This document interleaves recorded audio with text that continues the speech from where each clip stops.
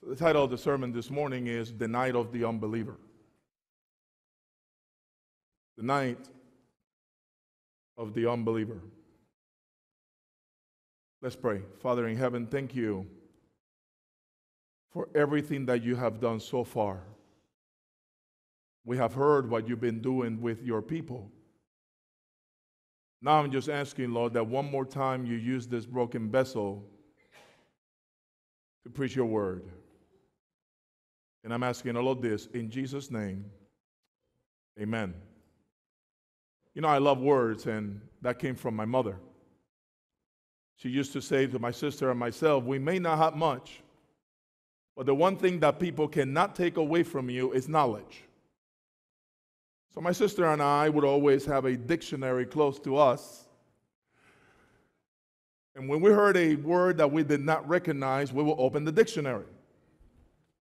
And this word unbeliever has an associated word or a synonym, and it is infidel. And I'm like, what does that word mean? Because I'm, I'm looking at the, uh, at the unbeliever, and then the Lord put my, you know, my, my eyes right to that synonym infidel. It means one who is not a Christian or who opposes Christianity. An unbeliever, there goes the word, with respect to a particular religion. Or one who acknowledged no religious belief. This is where my friend is or a disbeliever in something specified or understood. A disbeliever in something specified or understood. But even with all of these definitions, I'm telling my friends, you know, God loves unbelievers. God loves unbelievers, and some of them are going to see the light, like you're doing right now. Some of them actually are just waiting for Christians to live what they profess. And some of them are just going to be saved. Amen? One of the greatest unbelievers in the past was Bob Ingersoll, known as the great agnostic. He was always trying to discredit the Lord. He entered into this conspiracy with Lew Wallace, a novelist. And he said to Wallace, I want you to write a story about Jesus and make it authentic in, in every detail so that people will believe in it, except one thing involve Jesus in a scandal. Perhaps with Mary Magdalene. Have you heard of that? You think that's new? And if you write that story, and if it is true in every respect, and you add a little ingredient, then people will lose their faith in Christ. And Lew Wallace decided to do just that. But like many good writers, he knew if he was actually going to write something that it was going to make it true in every detail, he had to study. And he began to study the Gospels about Jesus. And he found the pearl of great price. And his heart was changed. And instead of writing what Ingersoll wanted him to write, he wrote the classic Ben Hur where Christ is lifted up as our Savior. Compassionate, glorious, powerful. Jesus will save unbelievers. But this morning, I want to I, I want to place the emphasis on this business of doubt and fear to obey, and the idea that God's word cannot be trusted. And I want to tell you one reason why the devil attacks the Bible. First of all, it is the only it is only, excuse me, through the Bible that Christ is revealed as man's hopes of eternal salvation.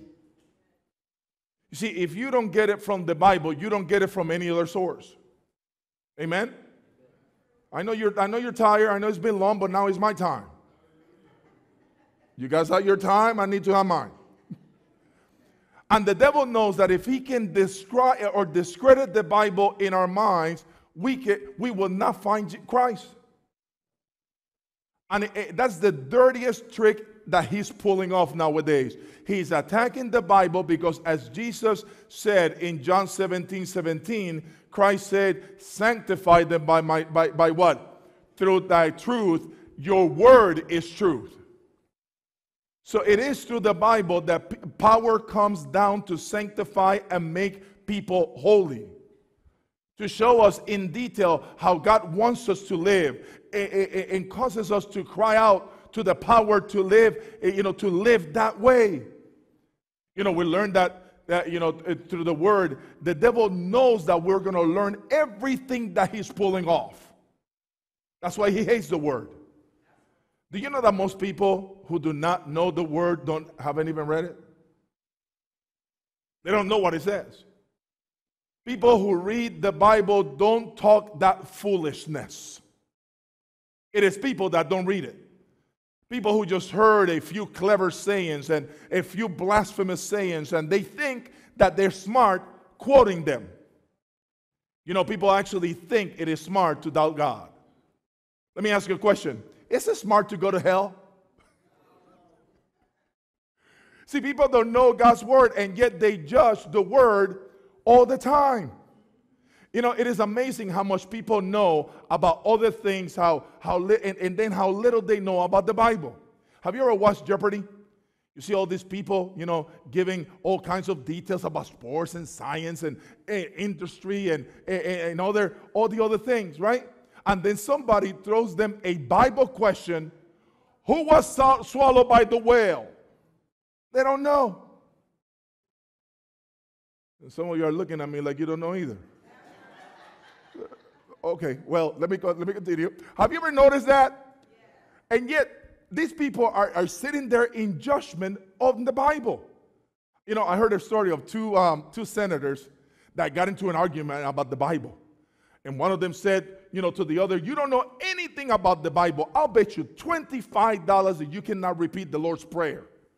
And the other senator said, You know what? I'll take that bet. He said, All right, say it. He said, Now I lay down to sleep. I pray my Lord my soul to keep. And when he got through it, the other senator said, Okay, man, you, you earned the money. I thought I just didn't think that you knew it.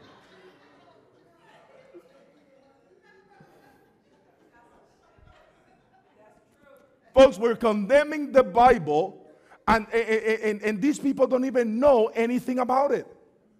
I'm going to tell you something else. People condemn the Bible because the truth of the Bible condemns them. One reason why people are so busy picking on the Bible apart, picking the Bible apart, is because they they won't hold on. They want to hold on to sins which the Word of God condemns. This is the problem right now. But I want to settle one thing right from the get go. Right from the get go. If you don't hear anything else from the sermon, if you don't take anything else from the, I want you to read this text with me, all right? Psalm 119, verse 89.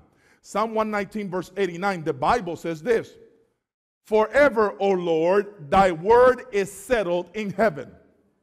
Say amen. amen. Now, that's, that's a solid rock. Forever, thy word is settled in heaven. Matthew 24 35. This is what Jesus said Heaven and earth shall pass away, but my words shall not pass away. Amen? Amen. Now, folks, these are the caves of Qumran where the Dead Sea Scrolls were found. And if you are a Bible student, you, you should know that the Dead Sea Scrolls were found on, on, on old clay jars, uh, you know, scrolls made out of leather containing the Word of God dating back hundreds and hundreds and hundreds of years. Among these documents or these fragments, the most complete text of the is of the book of Isaiah. All right, here's the picture. And it was of leather scroll 40 feet long and 11 inches high. And when the scientists sprayed it and moistened it and opened it up, they looked right in the middle of the book of Isaiah, right in the middle of that scroll. And, and, and what do you suppose that they read? Isaiah 40 and verse 8, which it says this the grass withereth, the flower what? Fadeth, but the word of God shall stand what? Come on and say amen out there. See, friends, people were impressed that these bits of scripture have been there for hundreds of years. But I got news for you. The Word of God goes all the way back to the beginning and it stretches all the way into the future. And the circle will be closed in eternity. The Word of our God shall stand what? Forever. Come on, forever. It shall never pass away, though the heavens and earth will pass away. That's proof of his divinity, of his extraordinary origin. Tradition have dug a, a, a grave, had dug a grave for the Bible, but the Bible still endures. You see, intolerance has lightened fires for the scriptures. You know, we were talking about this in, uh, in the youth uh, you know, Bible study. We, they actually threw the Bible in, in, in fires, huge bonfires. But the scripture endure. You know, people don't like it, but it lives. People, people argue with it, but it lives. People lie about it, but it stands forever. People twist it and misconstrue, but it will stand forever. The word of God will not pass away. I mean, try to tell our elderly people there's nothing to the word of God. Try to tell somebody who has had the grace to read it and then try and then and then try it. They will tell you, I tried it, I read it, I believe it, and I have decided to put it to the test. And God kept the promise. You see, He keeps His word, He will come through every single time. I want to tell you something. Um, in, in, my Google uh, Books library, I have a book. It's called by, by Lockyer. It's called The Last Words of Saints and Sinners. You know, the man I actually, you know, combed through the libraries of the world to find out about death scenes of famous, famous people. And he wrote it down simply for his doctoral thesis. The last recorded words of famous people who died. And the most amazing thing to me in, in the book is that all these big shots, these smart Alex, infidels, atheists, die screaming the name of God. Voltaire once said, in 50 years, the Bible is going to be an exploded book. Well, Voltaire had been there for a long, long time, and the Bible still the world's bestseller. It is read in more languages than any other book under the sun. Voltaire, uh, you know, died a liar.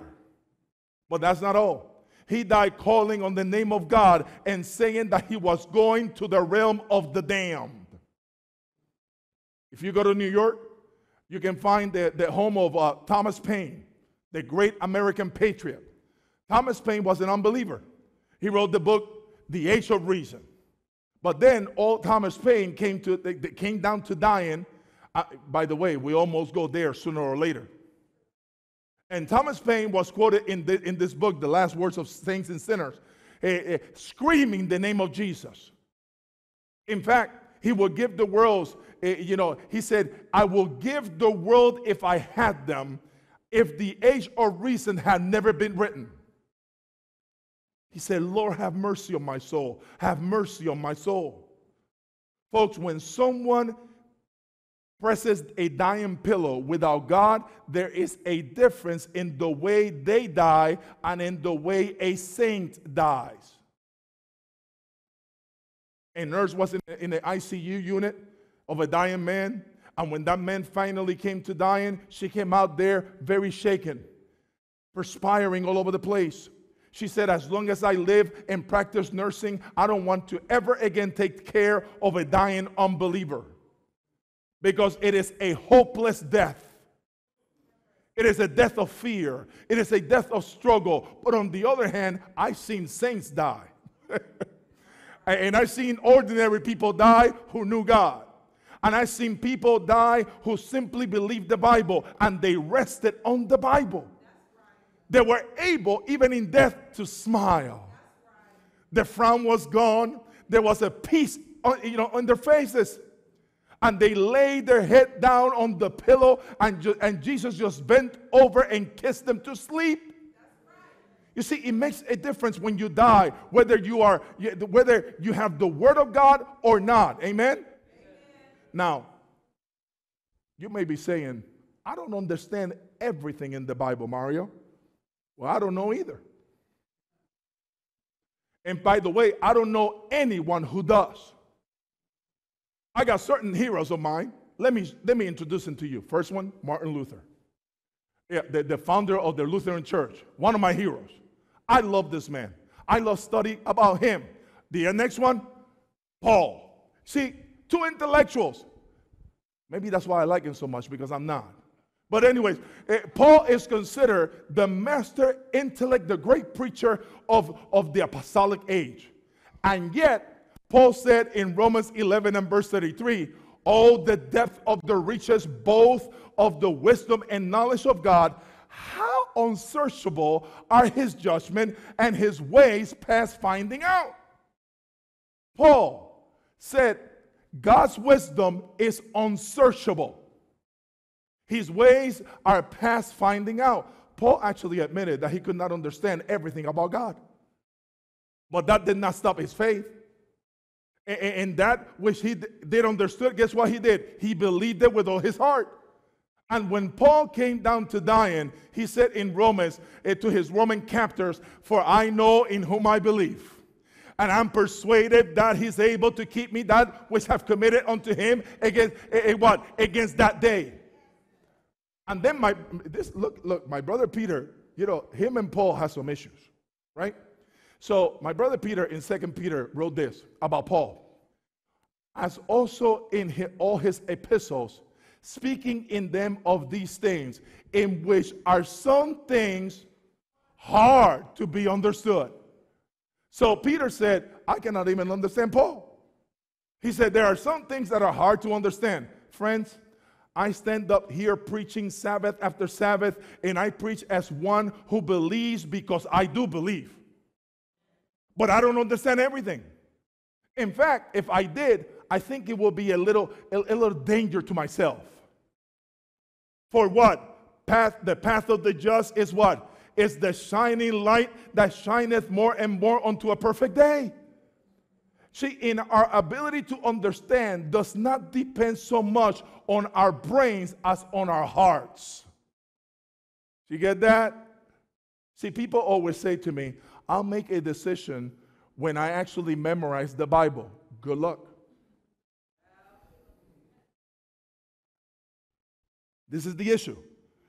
We're, we're, we're actually mixing knowledge with salvation. See what I'm saying? You know who did that too? The Sanhedrin.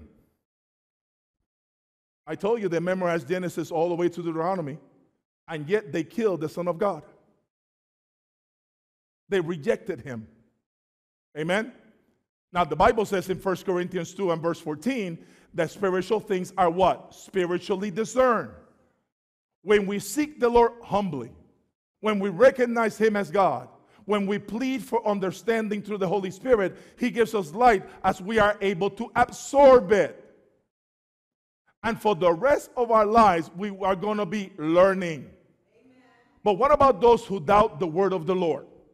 Proof do I have to provide to reasonable men and women uh, that, that we can trust God's word. Let me tell you what happened to me. I was called to preach when I did not want to preach. And when I did, I, I literally just sat down by myself and I had a little talk with God. I, he knew how I felt. He knew that I have a, my heart set on something else. And I said, Lord, I am getting ready for the ministry. And I told him, I want to make sure that, that, that I'm about to preach because I cannot preach something I do not believe. I want a message. I want to be able to tell people something that makes sense. I want some, I want truths so accurate as two plus two is four. And it wasn't long after that that I was sitting in class. One of my professors studying Bible prophecy. And I got, I, I, I, I, you know, it clicked on my head. Here are things that God has said hundreds of years before, and they came to pass accurately. In fact, no, no, mathematically accurate. Hundreds of years later. And I said, Yes, sir, this is my kind of God. A God who can tell the future. And it happened just as he did, just as he did, said it was going to be. And I want you to just jot this text down. Jot it down. Isaiah 41, verse 21. Okay? Now here's God. Here's God's challenge to the to the unbelievers, to the atheists, to the agnostics, and to whoever is an unbeliever. Listen to what he says. Isaiah 41, verse 21. I don't want to get this wrong. This is what he says Produce your cause, saith the Lord. Now, I need you to get this because this is how reasonable God is. He doesn't just throw around his arbitrary mind and shuts people out of the way. He said in Isaiah 1, Come now, let us reason together. And in this chapter, he says, Produce your cause, saith the Lord. Now, you have something that you believe, you have some idea. Let us hear it. Produce your cause. Bring forth your strong reasons. If you make up your mind not to believe God, you ought to have a strong reason. And I like, I, I, I like to give you a warning. You better have a strong reason. Amen. So God says, okay, let's hear your side. Bring forth your strong reason. Look at verse 22. Let them bring, for, bring them forth and show us what shall happen, and let them show the former things that we may consider them, and know the latter and end of them, or declare us things to come. So, and here's God's challenge. This is just getting, getting, laying the groundwork. In verse 23, listen to what he says to Isaiah. Show the things that are come hereafter, that we may know that you are God's. Amen? And that's God's challenge to the smart alecky generation of today that denounces the sure word of God. God says, hey, no problem. You know, I have spoken, I, I, I have spoken to them gods. Now, if you are smart enough to come up with something equal to what I have come up with, then you are God. Let me see your reason. You tell us that what's going to happen in the future. And if it happens, then we'll know that you are God. And that includes those who ride the zodiac, fortune tellers, powder sprinklers, tea leaf readers, fortune cookie bakers, necromancers, spirit mediums, are you listening to what I'm saying? God says, All of you who claim to have the wisdom superior to that what is found in the word of the Lord, let me hear your side. Show us what's going to happen in the future that we may know that you are God's. And Newcastle actually collected all of these major predictions that they actually do in the beginning of the year. He collected 250 of them, the so called prophets all around America who are getting rich with that deception, by the way. I, I read it, uh, Sirius XM, if you put it on, California psychics. And he began to study these predictions and see how many of them happened. Do you know how many came to pass? Six. I can do better than that just by guessing. And yet, some of the psychics are rich.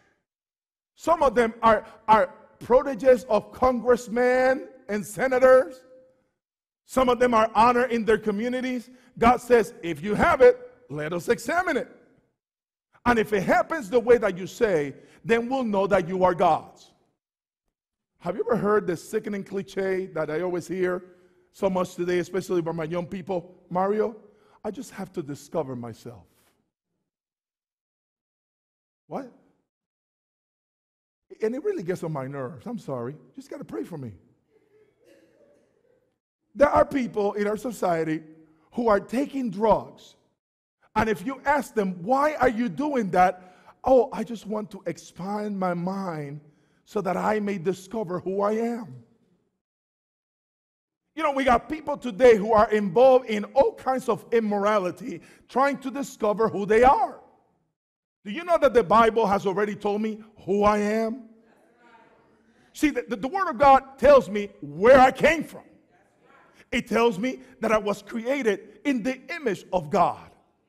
And when I get, get, get it from the Bible, I not only know who I am, but I know where I came from, but I also know that I don't have to have an inferiority complex. I'm not inferior. I don't care what color a man is, he's just a man. And I got that from my Bible. See, the Bible tells me about my past too.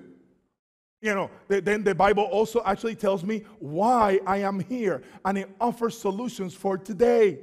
The Bible gives me directions for the best possible life right now. And even if there are no heavens hereafter, the Bible gives me the best prescription for a good life. And then the Bible tells me where I'm going. If I'm faithful, I have a hope for the future. If I'm unfaithful, I'm going to hell. So all these things are clear from the Word of God. And yet people are there ruining their lives, and the excuse is, I'm just trying to discover who I am.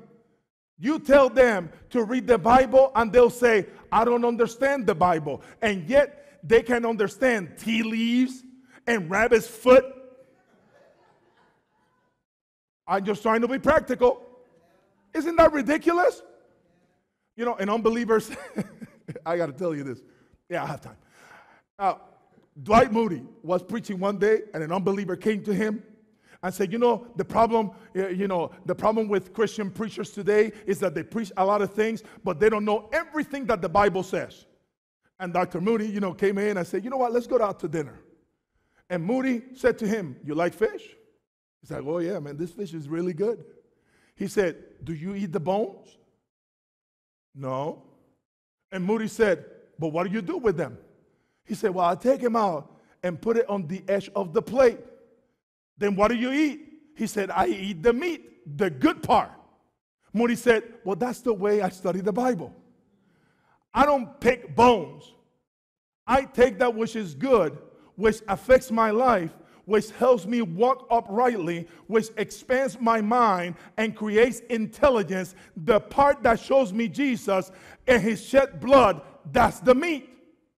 And I live, leave the bones for people like you.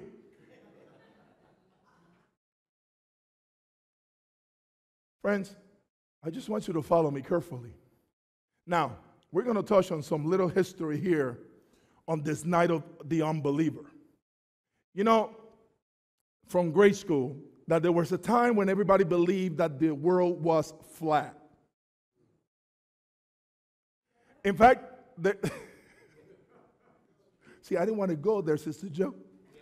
But since you mentioned it, there was, there was one great philosopher who first espoused this idea that the world was round and he was thrown in prison and made to recant the idea he was actually a laughing stock of the world. I, I you know, I think now we, we have concluded that the earth is round, even though there are people who still think that the world is flat.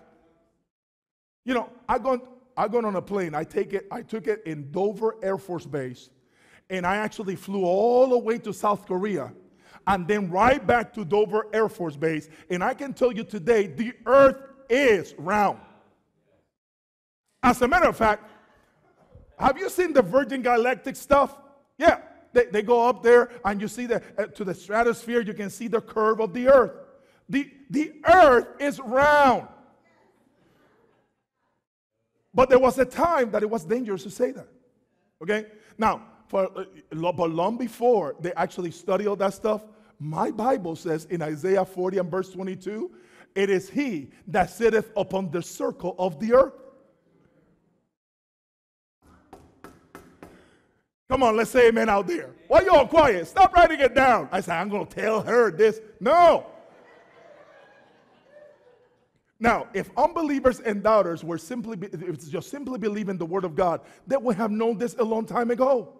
Not only that, but we read in Job 22 and verse 14, talking about God, it says, And he walketh in the circuit of heaven. By the way, if you look at the word circuit in the dictionary, it means a roughly circular line, route, a movement that starts and finishes in the same place. The earth is round. And the Bible says that it is round for hundreds and hundreds of years. And, but man made this discovery. But you know, usually these discoveries men made are simply those things they are catching up with. See, the Bible has said it a long time ago. Not only that, But there was a time when scientists believed that the moon was larger than the sun. And then one day they discovered that they were wrong. And then they got some, you know, because they got those telescopes right out there, yeah. And they saw that the moon was only about 250,000 miles out there, but that the sun was 95 million miles out there. And the sun is so much larger than the moon, there's no need to even discuss it comparatively. But don't you know that in the book of Genesis, that, that's way back in the beginning, right? The first book of the Bible says this that God made the greater light to rule the day and the lesser light to rule the night. If people would just read the Bible, they could have avoided all this mess. Trying to go to Mars to discover water? See, unbelievers ought to listen to the word of the Lord. In fact, 2 Peter 3 and verse 10 that day will come when the elements shall melt with fervent heat. And for a long time, those of us who preach actually the end of the world were laughed at. Oh, there's some things that will, will burn, they say, that will not burn at all. Mario rocks don't burn.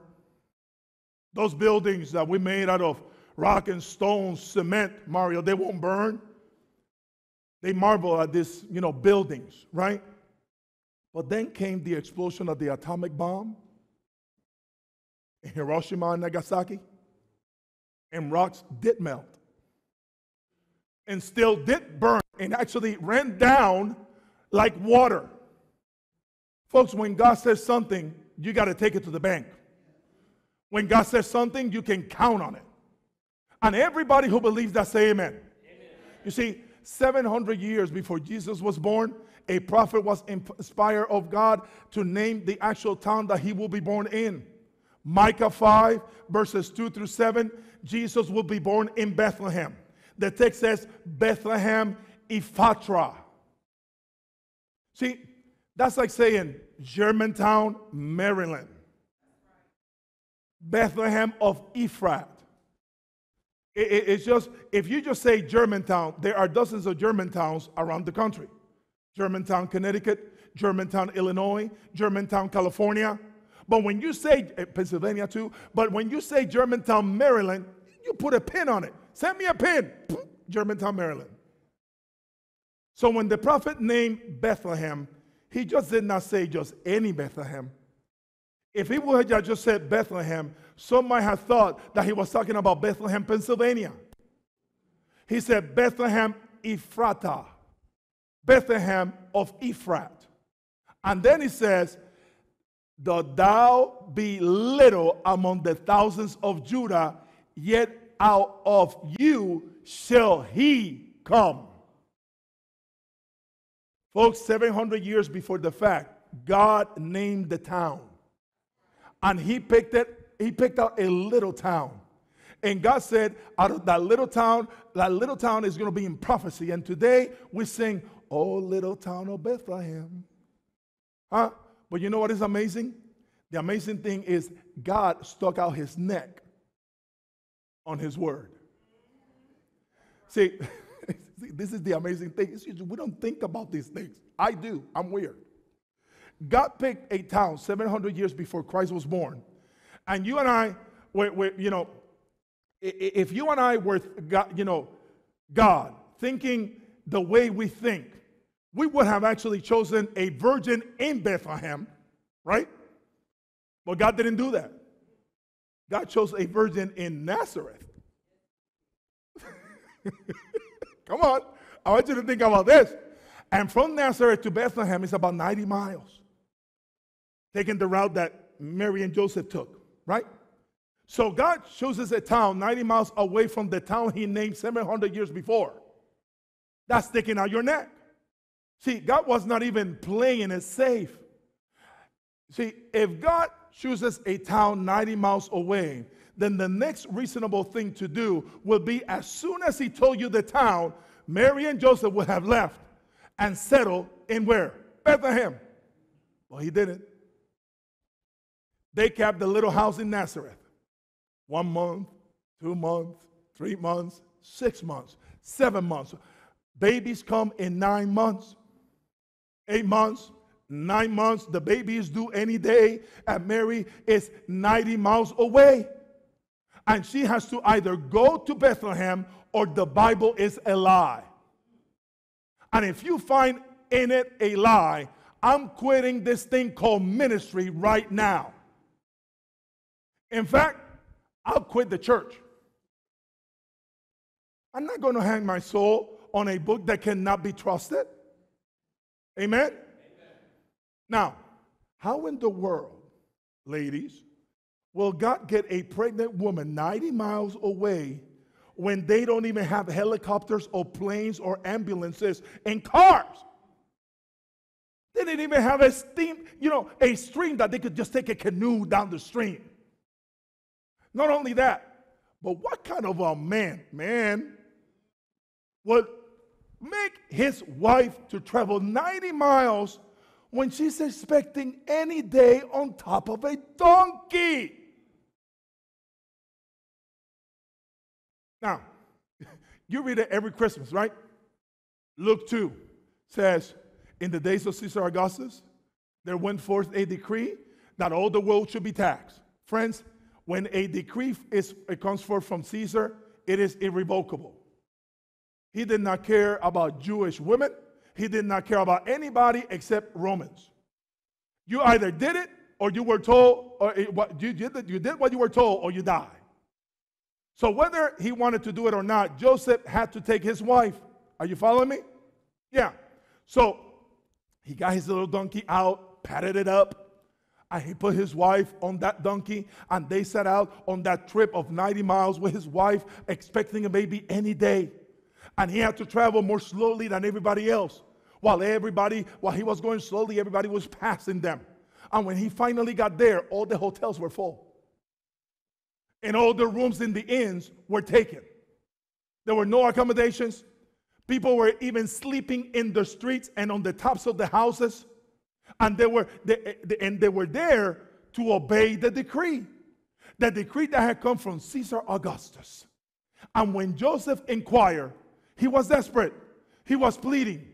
What was he? What's wrong with you, Joseph? My wife is expecting a baby. Well, why did you travel? I had to. Why did you have to? Caesar said so. No, no, no, no. God said so. God said, out of the old Bethlehem shall come, shall he come. Christ had to be born there. And when they could not find a room, he went into a stable. And away in a manger, no crib for his bed. The little old Jesus laid down his sweet head, and he laid down his head in Bethlehem. The Bible came true once again. Now, friends, that speaks to my heart. You see, in mathematics, we have what is called the, uh, the law of probability. But then you also have the law of compound probability. I'm a geek, sorry. it, it is really the law of things that happen by chance. Okay? And according to the law of compound probability, the chances of Jesus fulfilling that prophecy uttered 700 years before will be one chance in one with 100 zeros behind it. You cannot even spell that out.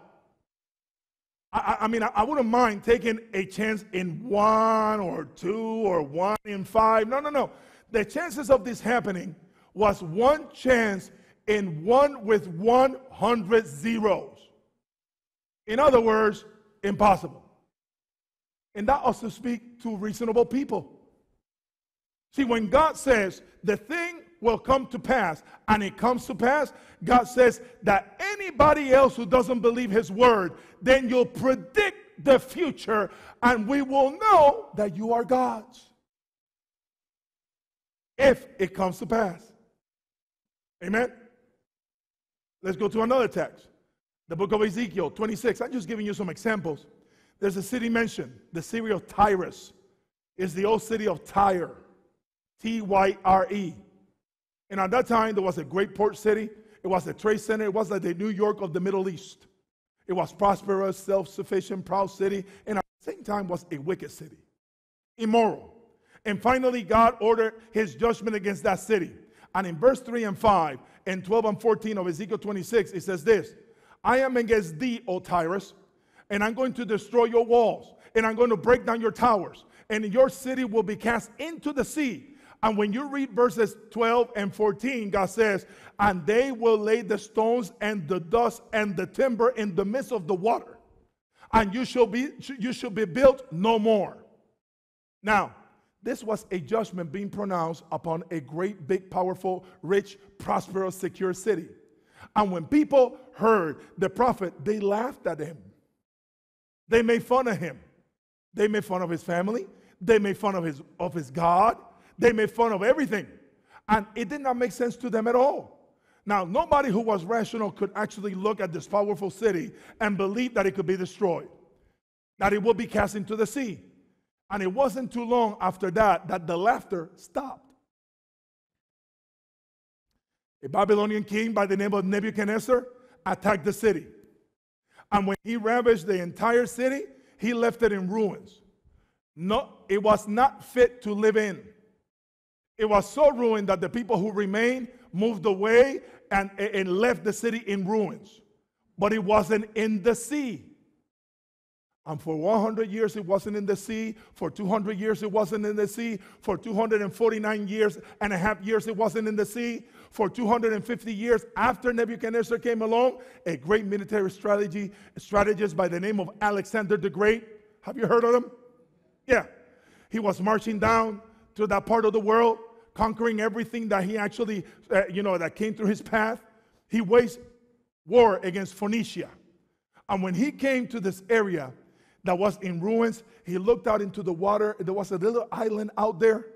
The remains of Tyre and, it had gone on this, you know, it, it, they were actually on this island and they have built a wall and built a city and that's where they live. And when he saw, eh, when they saw Alexander, because there was some water between the two, guess what? They slammed the, the gate shut and they said, I'm not going to surrender. Alexander said to his soldiers, Build me a crossway. Make me a road to the island. And I know you're going to actually build it out of, I know exactly what they're going to use.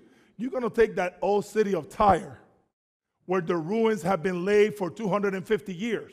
And they started picking up those stones and those columns one by one and laying it out for a long time and they hauled them out and dumped it into the sea.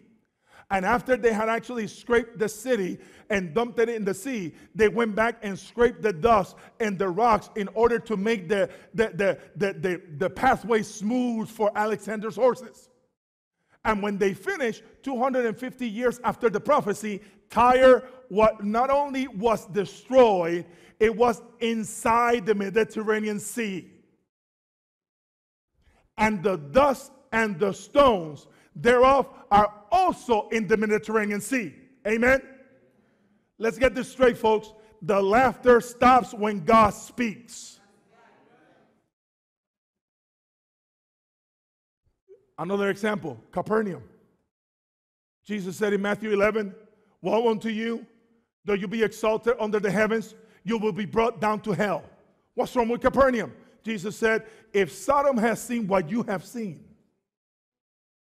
the mighty works that I have done, if they have seen, if, if they have been done in Sodom, Sodom would have repented. But you have seen Capernaum, you have watched me heal the sick, you have watched me raise the dead, and you still won't believe. That shall be brought down to hell. This morning, while we sit here on, uh, in the north shores of the Sea of Galilee are the ruins of Capernaum, never rebuilt.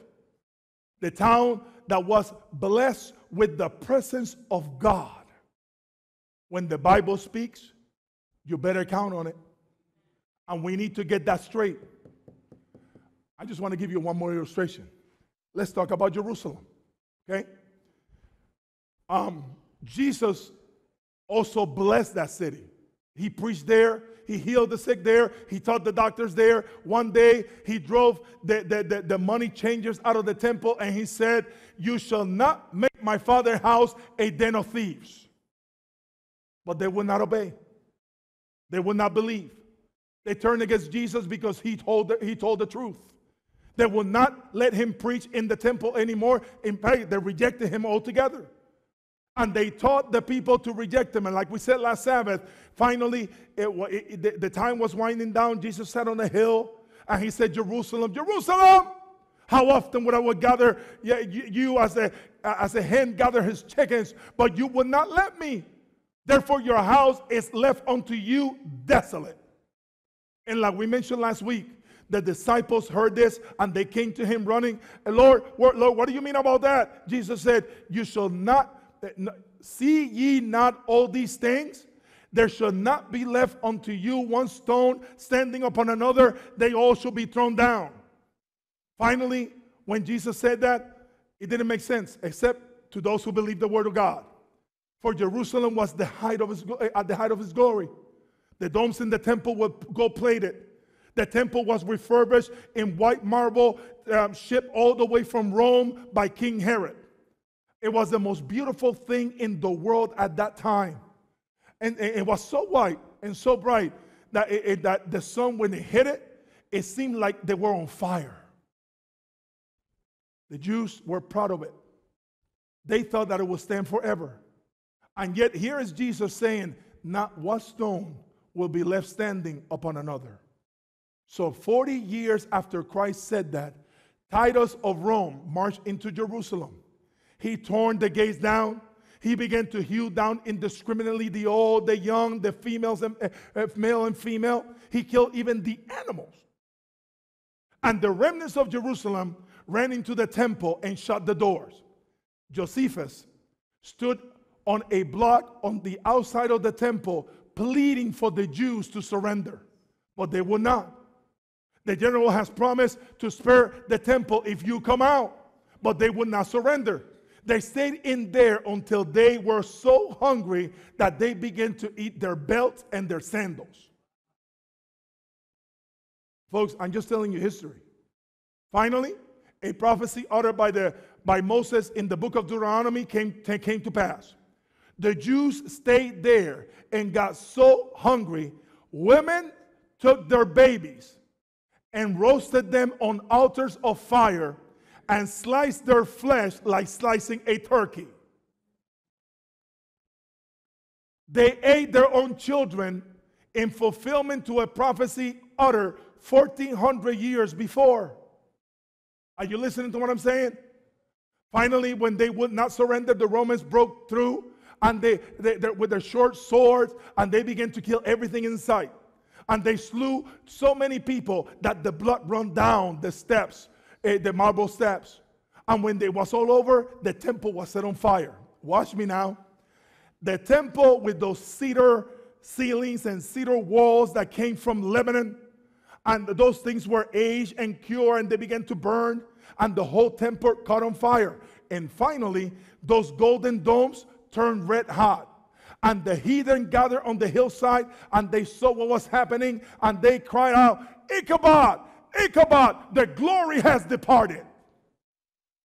97,000 Jews were taken back to be fed to the lions in Rome, and hundreds upon hundreds of thousands died in the carnage. But Jesus says, Your house shall be left unto you desolate. But he also said, Not one stone will be left standing upon another. Historians record that, that, that when they, the fire had cooled off, because there was so much gold in the temple, it had to be melted. It had to, it, it, that had been melted, it ran down into the masonry. And in order for the looters to get the gold, they took chisels and hammers and dislodged the stones and took them one by one to get the gold.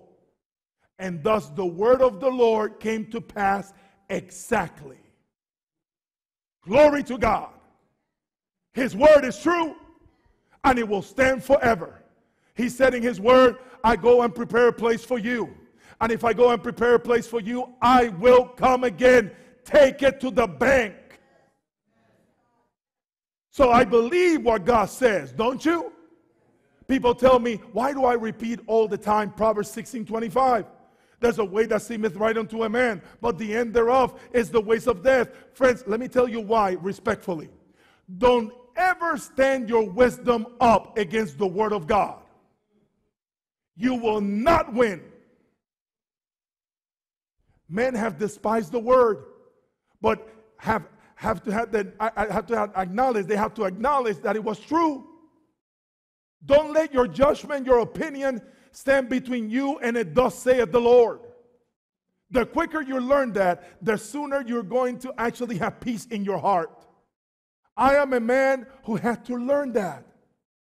I learned that the simplest and best and easiest thing to do is to let God be true and let everybody else be a liar.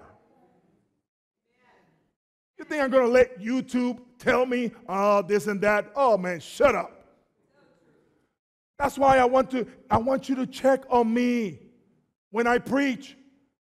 Right? Don't just take my word for it. Go home, study it, look in your Bible. If it's not there, I'm a liar and you should not come back. Amen? Amen. Yeah. So, so let God be true. You know, we, we got people so foolish and so fickle that they will actually read a thing in the Bible as plain as their noses.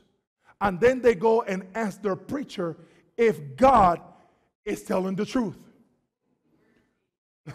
Folks, you don't need to check on God with a preacher. You need to check the preacher with God. Got it? Then we get into this nonsensical stuff about evolution. We came from monkeys. Well, let me tell you something. There is not one believe iota of me about evolution. Why? We came from monkeys. It gives us an excuse to act like a monkey. I'm going to leave it there. There's another sermon coming. There's some who read the story of Jonah in the whale and they laugh. And I want to tell you something.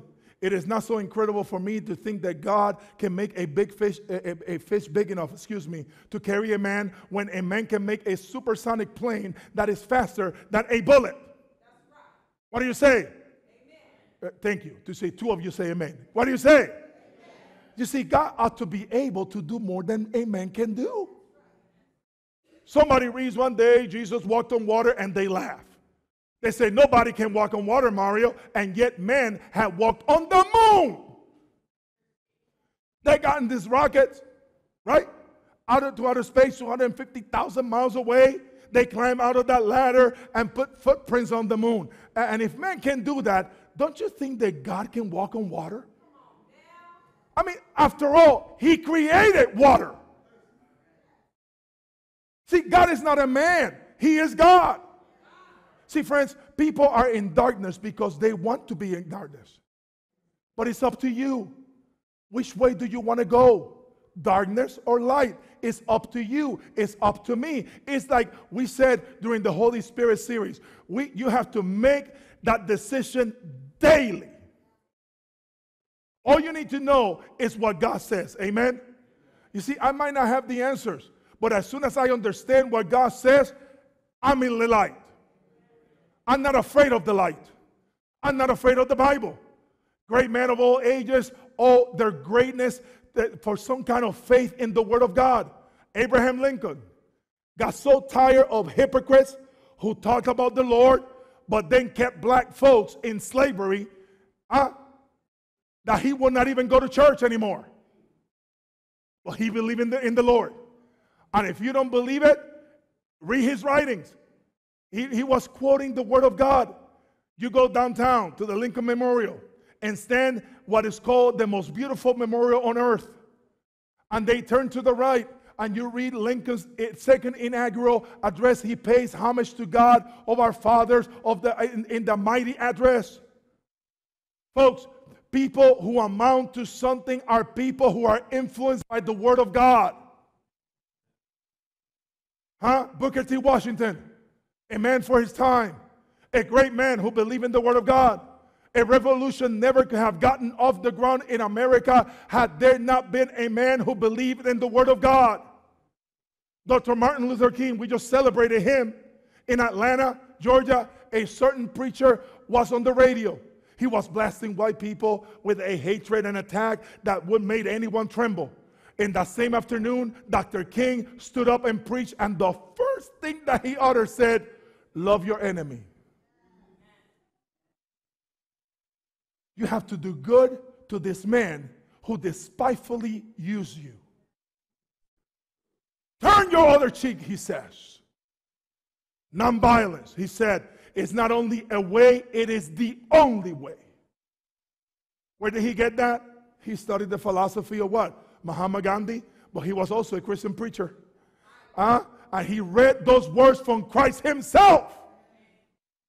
God, see, good men have nearly always been men who have faith in the Word of God. And today, that's the book of all books. And now, having said that, it is time for us to at least study God's Word before we start passing judgment. It is time for us to look in the Word of God and see what God says to us. I want my young people to know that it is not a dull study. No, no, no, no, no. Whatever you want to know, if you want history, it's there. If you want adventure, it's here. If you want portraits, it's here. If you want romance, it's there. Whatever it is you enjoy, it is in the Word of God. See, you never eat about women eating babies. It's here. And I'm going to watch Days of Our Lives. I love soap operas, and you know it. I do. Sorry, I do. All right? I don't watch them anymore. I read the Word of God. It's the best soap opera in the world. The difference is the truth. It speaks to the soul, and it has power in it to cleanse the mind. You study God's Word, you pray over it, you'll see the difference in your life because there is power in the Word. And it is time for us to get back to the Bible, basic training. You never had it so good as when you begin to study the Word of God. And when you begin to study it and then you don't understand it, you pray about it. You have something else going for you. Not only have you read the Word of God and understand it, but then the Lord, through His Holy Spirit, will enlighten your mind and will give you insights to other, what other people don't understand. You're going to be able to look out and face the future unafraid. Because you hit the Word in your heart and you might not, that you might not sin against God. We stand in need of the word today. Germantown, Maryland needs the word of God. America needs the word of God. If we take heed of the word of God, it will be safe to walk the streets of our community. If people would just heed the word of God, racism and bigotry would disappear. If people would take heed of the word of God, we will all be brought together in one common denomination. And that's what we need. When we study the word, it cleans you up. My professor gave us an example. It will, it will actually clean you up. Not only that, it will brush your teeth, it will comb your hair, it will actually just tidy up your house. Huh? The word of God and the power of the gospel will brush everything that you need. It will make you clean, attractive, and yet modest. You look like somebody when your life is under the influence of the word of the Lord. You want to see a contrast? There's another side. Thank God for the word this morning. Amen. Thank God because it is time, eh, at the time of danger, it points the way. We can go to bed tonight with all the strategic arms and all the threatenings of, a, of, a, of an atomic bomb or a nuclear bomb. I can go to bed right now and go to sleep like a baby. That's what we need. Because God so loved the world that He gave His only begotten Son. The only place you're going to find that is in the Word of God. And the devil figures if I can just get the people to disobey and disregard and ignore the Word, they're going to never find that God, that, that, that God said, Whosoever, whosoever believeth should not perish, but have everlasting life. The devil knows what he's doing when he belittles the word and he creates doubt. He knows that you're not going to find a savior if you don't if you ignore the word. He knows that Jesus died in vain and hung on the cross for nothing unless you're going to study the word and believe in the word. So here I was. Speaking to my friend. And I said, Well, let me ask you something. When we were zeroing our weapons, you made one click, up and down, left and right, to zero the weapon for you. He said, Yes. It's like when you press the trigger, do you believe that the actual bullet was going to hit what you actually aim for? Yes. And I wonder what happens if some wind came up? Will it deviate the actual bullet? Yes. And I said to him, What if I tell you that no matter how much it winds and hurricanes and tornadoes will come up, God is going to hit the mark every single time? He's like, I can count on that shot. And I was like, Me too. I can count on it every single day. Folks, it is time for us as Adventists, as visitors, as Christians to start believing the Word of God all the way. Not just what is convenient, all the way. And if that is your desire, stand to your feet.